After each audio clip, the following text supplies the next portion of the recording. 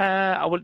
I will not take up too much of your time. I mean, I I posted two extremely different videos for you as a way into this, uh, and I I have no illusions that you would understand everything that was being said in the uh, or communicated in the in the um, mashup of the uprisings in in Maputo. But I wanted you to just get a graphic sense of of what happened, and also for you to notice, for instance, that this is not just young, disgruntled men who protest in the street. This is the classical image of protest. These were also middle-aged, middle-aged women, mothers, elderly. You had security guards who who sort of suddenly switched. You also had at at in certain elements policemen taking parts in these protests. Yeah? So the, it was a very uh, heterogeneous kind of uh, kind of group.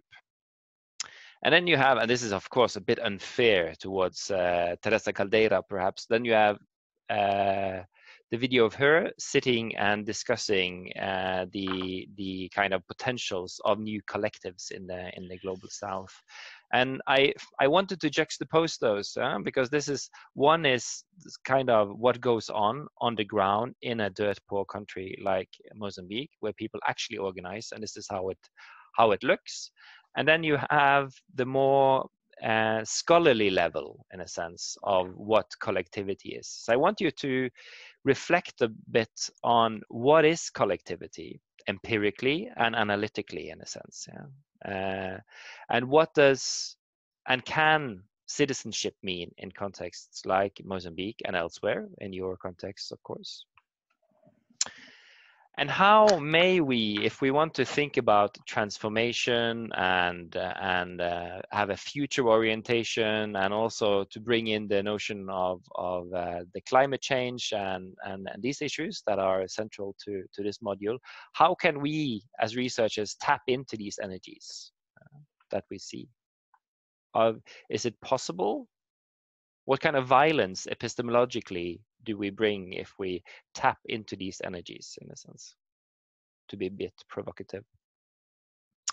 And what is as asun said in her opening lectures she talked about the need for actionable knowledge yeah? actionable knowledge. How can we think about these collectivities in terms of actionable knowledge are they useful at all? Should they just be educated, put into schools and courses? Should we just subsume them to to the discipline of NGOs, you know, educating them to behave nicely? Or what can we learn from them? Okay. Okay, I think I'll I'll I'll I'll um, stop there if there are no sort of just very quick questions about the video from Mozambique that no one of you that that that is sort of central to to to to understand before discussing. No? Okay. Then as I understand it, we break into 15 is it 15 minutes, Sid? Yeah, 15 minute uh things and then we we're all back. So uh, yeah, uh, we now we would now like to hear the verdict of the jury. The the one group, group group four, was it? Yes.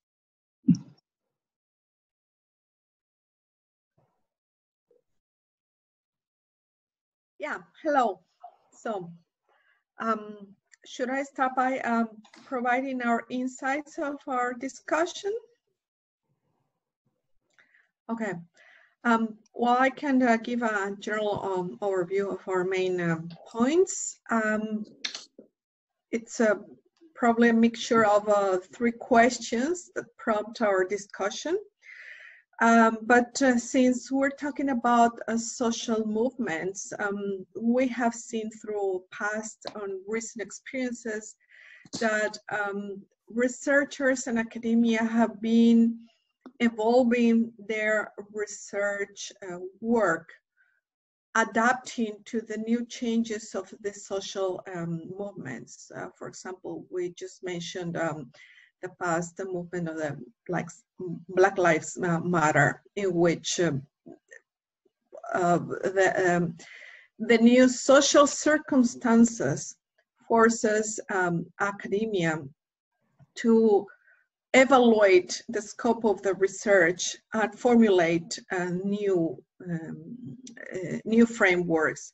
The same happened as well with the pandemic right now with the COVID-19 that we're living through. That uh, there was no way uh, this phenomenon could have been uh, foreseen or forecast. Uh, that's why um, it had to be somehow reframed and adapt to new circumstances.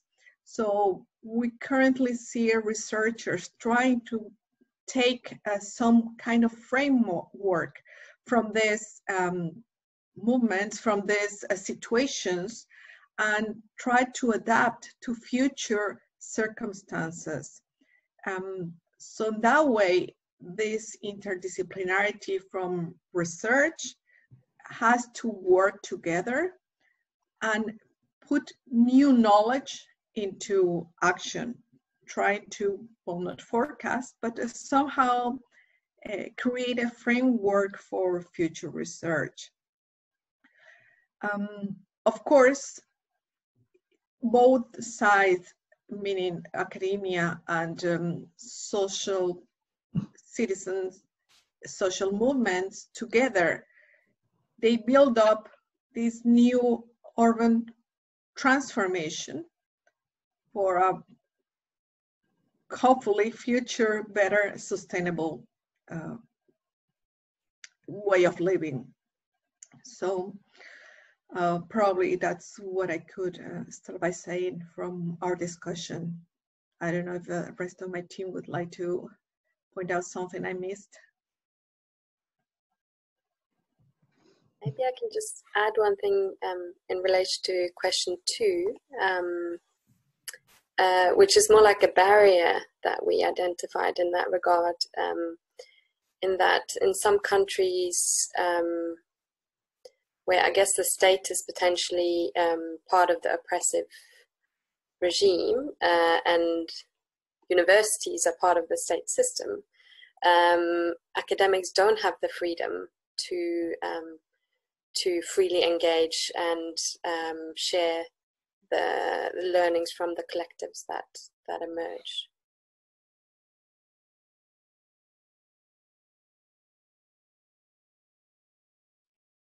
If I could just add to that, thank you, thank you for this uh, opening. Uh, if I could just add to that uh, last point, I think this is hugely important. Uh, academics and researchers are not a universally positioned group, neither sort of systemically, uh, as Katinka pointed out. Uh, in some places, universities are part of the state structures, which are part of the oppressive regime, or part of the welfare state, or part of a neoliberal sovereignty, or what have you. And in some places, they're private. In some places, they're also extremely precarious institutions that are on the margins of the state or on the margins of society and are uh, often uh, attempted disciplines, and the researchers in them are attempted disciplines.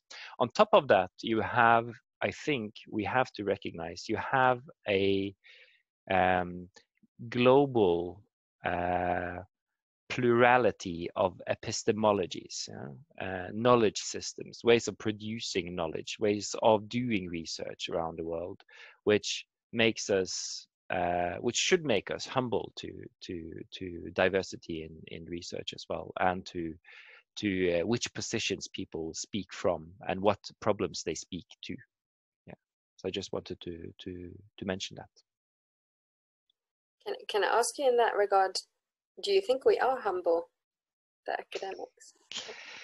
In that oh. Uh, yeah well you ask me that after i've been blabbering my mouth off of how things are in mozambique for for 45 minutes so yeah no no not necessarily i think we're not humble enough i think we need to be uh, more humble i think we need to take uh, on board uh, those of us who, who work in places where we not ourselves live we need to take on board uh, knowledge production and the lived in realities in places where we do engage.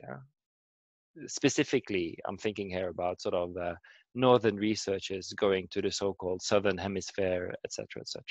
That is extremely important. I think. I think the days are gone when when one could uh, sit at privileged northern Euro universities and and uh, and come to big conclusions about how things really are down there in a sense yeah. So we should be more humble. I totally i totally agree. And i i therefore really appreciate uh, work being done in this regard. Um, and since you're from South Africa, I can mention, mention the work uh, of uh, Francis Nyamnjoh, for instance, which I really appreciate, and uh, Divine Fuh and uh, and Sabelo Ndlovu-Gatsheni, uh, who do extremely important work in terms of of sensitizing us to to to other epistemologies and other traditions of doing research. I think.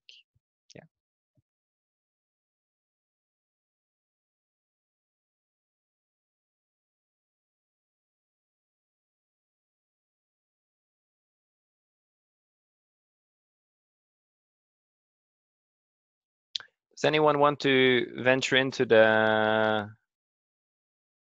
terrain of collectivities? What are what are uh, how should I put it? What are um, useful ways for researchers uh, like us, like we all are here, to think about collectivities uh, these days?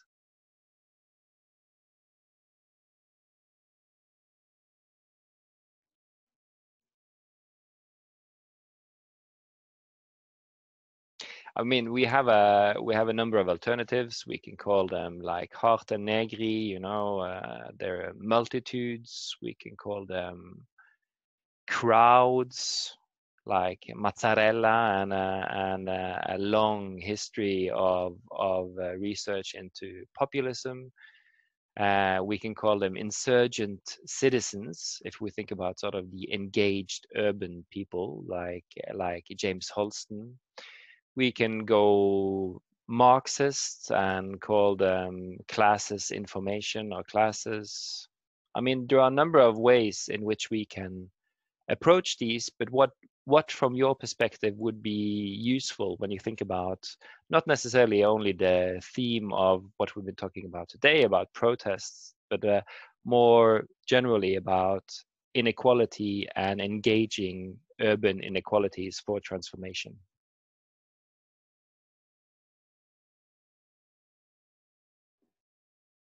Uh, can I can I put an, an input on on this? Um, maybe coming from a background that collectivity and citizenship has been uh, buzzing keywords for the past few years. Um, I come from from Egypt, from Cairo, uh, more specifically. So these have been um, keywords that have been used uh, numerous times uh, in in in my lifetime and then historically again. Um, for, for, for, for me and what I've been uh, talking with my group about is that uh, collectivity um, is a group of people that are uh, having similar uh, mindsets uh, in a way. So they require, they are working towards a vision or are requiring a certain thing to be implemented. Um, but then this collectivity uh, can be different. Uh, so it might have uh, a good brain and organization behind it uh, to achieve its uh, goals. And in some other cases, like in the case of Maputo, it did not. So although they did have some um, short-term successes, on the long term, it did not eventually lead to uh, a more inclusive environment or um, a higher uh, degree of uh, interventions by the people in the political system. Um, this is actually similar uh, to, to my experience in, in a little bit or, or my what I've seen as, as a citizen. Um, so in, in, in this regard, collectivity and citizenships uh, to be used by researchers is, is very hard. It needs actually um, a, a very good uh, interaction with the people uh, that we are targeting to, to know what we can, should do with this collectivity uh, and respond to it in, uh, in a certain way. Um, in the US, for example, I think it's a little bit different because now it is going uh, in a larger scale. So the collectivity is showing um, on a wider scale than uh, on what happened in Mozambique or in my experience here. Um, so there is no one um, scenario fits all. It's a case by case basis, more or less.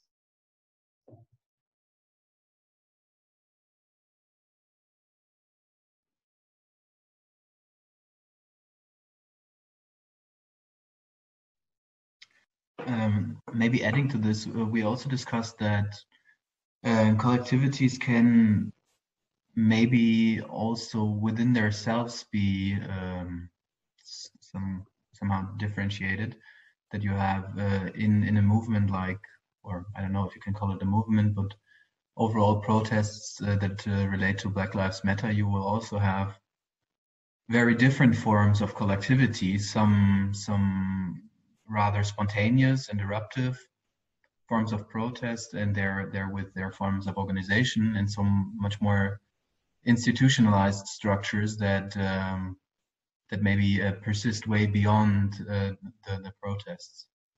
And i think they're on the one hand they form a larger collective and a larger shared opinion. And on the other hand there are also smaller collectives within within this broader um, aim maybe does it make sense? Yeah it makes it makes uh, very good sense and i i, I appreciate both uh, both comments. Uh, um, it i mean there are examples of spontaneous collectivities like the the uprisings in Maputo that that make a huge change in the sense of of transforming the whole city. But it's it's only for a certain time and then it recedes. And what and, and the big question is what happens to that energy in a sense yeah? what happens to that engagement? Where does it where does it go? It's not channeled channeled into into stable political institutions in a sense yeah? So so what how can we how can we approach that? And i think uh, lucas had a point when he says that the, the, the i mean any collectivity has this sort of tension between between stability and institutionalization versus spontaneity yeah? So and this is a, this is a this is a problem. And and and um, and uh, Esra i'm not sure if i'm pronouncing your your name correctly, and I, I probably am. I'm not. Okay. okay. Thank you. A shot in the dark, but uh, yeah, thank you. No, uh, I think I think you're you're very right. I mean, and and this was precisely my point. We have to look at these collectivities within their contexts. Yeah? We cannot really assume a priori that we know what these things uh, are what the what the what the drivers are behind them in a sense yeah. And and just to add a small note not trying to to to kill the discussion but i in in the break i i mentioned to sid and devin that um if you don't really understand the socialist history of Mozambique, it is very, very hard to understand how and why people mobilized and, and how and why people used the slogans they did. Because the socialist trajectory has, uh, in a sense, um, uh, contributed very significant, significantly to what you could call the political cosmology of of people in Maputo. Yeah? So they don't have the kind of classic liberal notion of citizenship that we do necessarily when they engage. Yeah? And this will vary very much across the globe, of course. Yeah. So collectivities necessarily need, in my opinion, to be uh, approached openly uh, as something we don't necessarily know the contents of, and we should be again a bit humble when when when when trying to make sense of them and and why people engage the way they do. I may just wanted to to chip in on. Um, I was reminded of this uh, with Ezra's uh, comment that one column I've loved reading in a magazine called The New Internationalist um, every month is uh, is called Letters from Cairo, and uh, it features different uh, uh, writers who've uh, been long-term residents of Cairo who who express understandings of the city from their vantage points. Now, I'm wondering, um, you know, one cannot easily claim that what they're representing is a collectivity. Sometimes it can be quite a, a an unusual perspective, but being able to platform a particular imagining of the city, um, being able to stake those claims in different fora, I feel that's part of actually working towards collectivities. And so um, that's just one example, but I guess to me it seems like the dynamism here is is in that contestation of different collectivities, each staking their claim to be sort of purposively able to mobilize particular kinds of transformation in the city. Let's say maybe this is somewhat linked with the third question. But I was curious if others uh, talked about this to and fro movement of what expression we we see and what actually comes into being.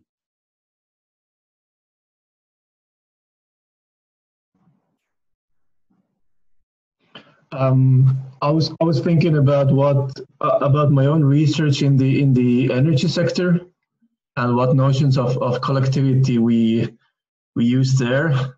And and there's recently there's a lot of buzz about the notion of community and community energy energy cooperatives you know citizen energy movements or whatever. And and well, it's it's it's become such a buzz that this can mean basically anything now. So it can mean an energy cooperative, it can mean a community benefit fund, or or or, or basically if you just you have some little amount of money that you invest in a in a wind farm or solar park, you automatically sort of become part of the community.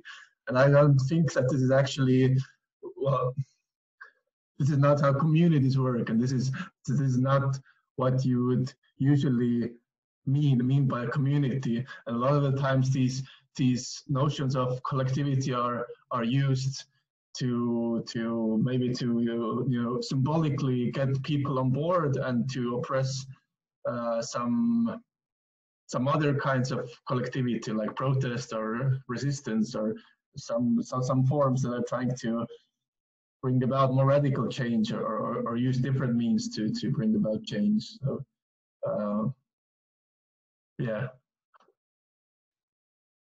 No, thank thank you for that. That's a very helpful uh, helpful uh, comment. I think. I mean, because I mean, we have a we of course have a as researchers we have a problem. Yeah, we are, well we have many problems, but one of the problems we we have is that we sometimes use the same terms analytically as uh, as terms that are used both by people themselves and various forms of collectivities, and also terms that are used in in hegemonic or non-hegemonic discourses. Yeah, like and and and the notion of community is of course one of the one of the most prevalent ones. Uh, this is used in everything from corporate communication to state discourses to uh, would be representatives of that type of locality itself, in a sense. Yeah. So I mean, and and then you have to spend a lot of time trying to to uh, to say what you mean as a researcher by community uh, in contrast to the to the to the corporate interest or contrast to hegemonic discourses and perhaps in contrast also to the local would-be leader of that type of locality as well. So yeah it's it's it's it's a it's a general problem i think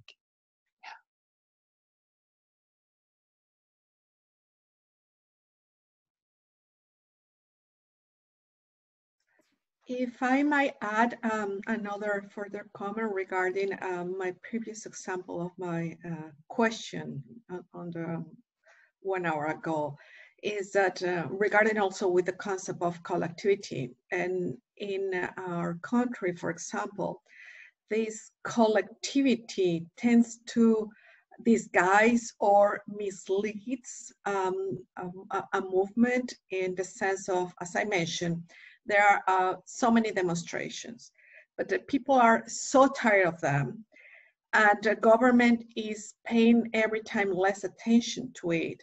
Then when you see a bunch of thousands of people, you start wondering if it's a legitimate movement. You cannot now distinguish if it was kind of a paid movement, meaning uh, there is someone else uh, like um, um, internal um, cooperatives leaders that is collecting, is trying to push people out on the streets to demonstrate for not real causes, although it seems the opposite. And uh, once you have these true social movements uh, that contrast with these thousands of people that are going there on the streets, causing riots, closing highways, it, it is really difficult to distinguish one from the other. Uh, and unfortunately, uh, there are some, uh, you have to not trust, but it, nowadays it seems that social media is capturing how uh, uh, the consequences or how after this movement has taken place uh, this effervescence how long does it take to evaporate? So it's really difficult in our case to find um, an effort to distinguish one from the other and which one is real or which one uh, has a, a, permanent effect on um, governments. So it's also related not only to the concept or collectivity, but also on the consequences of, of it. Perhaps we could try to open the floor for those who haven't contributed yet, reflecting on, on Patricia's comment and, and the other things that have been said. If anyone else would like to chip in.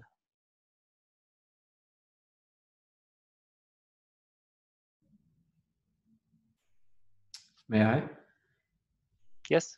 Um, so I um, I wrote my master's thesis on the Umbrella Revolution in Hong Kong, and uh, and this is this is just my understanding of it. But one one one um, insight that I made was that uh, you you cannot really um, how to say uh, orchestrate a movement.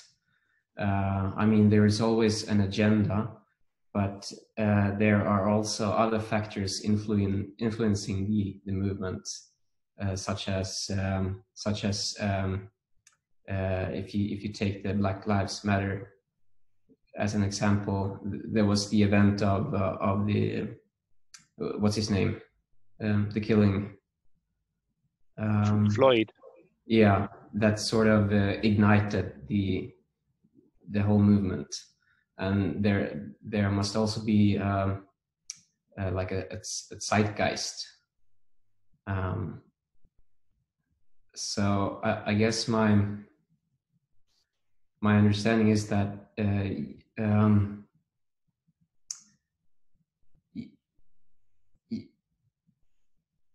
I, mean, in terms of uh, starting a, a, movement for for uh, sustainable transitions, it,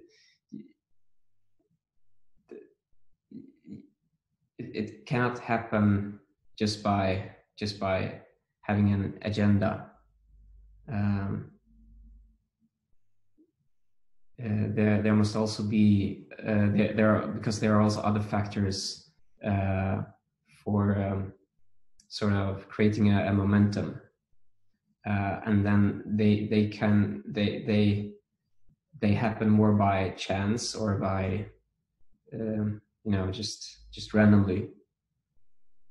Um, so i mean I, I still think it's important to to study movements but I'm not sure that we can uh, use them to, to we, we can we can study them to understand them as an historical context, but not to uh, learn from them to to be able to to ut- utilize that knowledge knowledge in the future. I hope that that makes sense.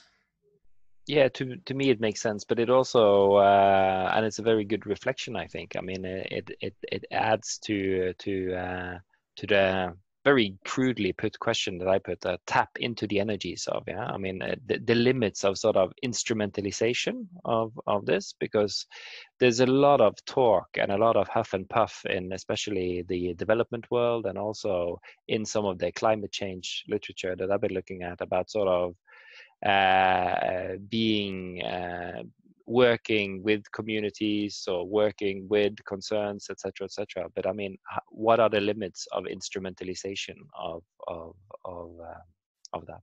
I think it's it's important.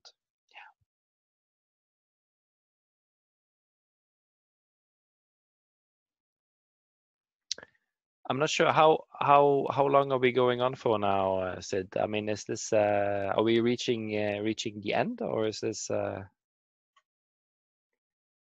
we're uh, we're at the close of this session. If there are no more burning questions. Perhaps we should have a end of the session uh, vote on on on on which video you like the best, with a with a with a thumbs up or thumbs down. no, I'm joking. We shouldn't have that. We have um, we have a tradition um, started this week that we applaud each of our lecturers. And uh, Bjørn will unfortunately have to leave us for the um, the video discussion. So I suggest that we uh, unmute and give him a round of applause for really, yeah.